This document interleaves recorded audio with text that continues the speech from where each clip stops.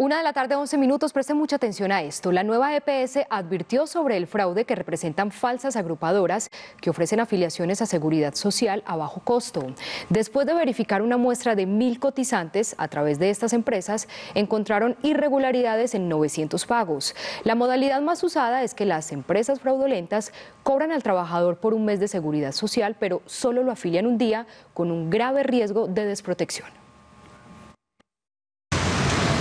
El engaño está en cobrar un mes y pagar un día. Para ellos hacer negocio, pagan solo un día, lo retiran, el día vale 12 mil pesos, entonces la diferencia es para esa empresa ilegal eh, que pone a esa persona y a su familia en riesgo de que no lo atiendan en salud por estar en mora no tiene pensión. Es imposible pagar menos, pues los porcentajes de aportes están establecidos por la ley. El mínimo para afiliación es un salario mínimo y esas, si hacemos los porcentajes a salud, a pensión y ARL, son 212 mil. Entonces es completamente imposible. La recomendación es realizar el trámite personalmente sin recurrir a intermediarios y en todos los casos verificar con la EPS y el Fondo de Pensiones si los pagos sí se están aplicando.